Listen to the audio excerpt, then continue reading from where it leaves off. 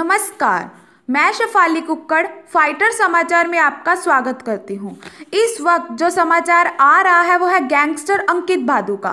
सादुल शहर में आज रात एक कपड़ा व्यापारी के घर के आगे फायरिंग की गई है। मोटरसाइकिल पर सवार होकर आए दो बदमाशों ने कपड़ा व्यापारी के घर चार फायर किए और भाग गए। यह गोलियाँ वार्ड नंबर 10 निवासी महावीर काकड़िया के घर पर चलाई गई।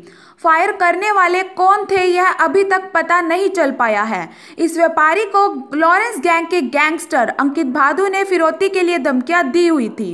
इस धमकी के मामले में पिछले दिनों ही सादुल शहर पुलिस थाने में मुकदमा दर्ज किया था, जिसमें एक युवक को अंकित बादू का साथी होने पर और फिरौती मामले में संलिप्त पाए जाने पर गिरफ़्तार कर लिया था। आज हुई इस फायरिंग से दहशत का माहौल हो गया।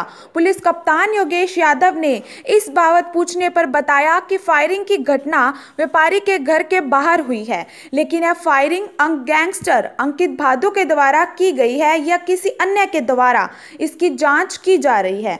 उन्होंने बताया कि ज़िले भर में नाकाबंदी कर दी गई है। गौरतलब है कि जॉर्डन हत्याकांड मामले में पुलिस अंकित भादु की तलाश में जगह जगह छापेमारी कर रही है, लेकिन पुलिस को इस मामले में सफलता हासिल नहीं हुई है। अंकित भादु द्वारा श्री गंगनगर में भी लोगों को फिरौती के लिए जान से मारने की धमकियाँ दी गई है।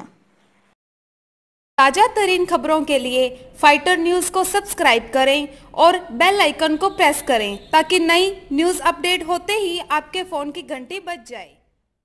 Once again.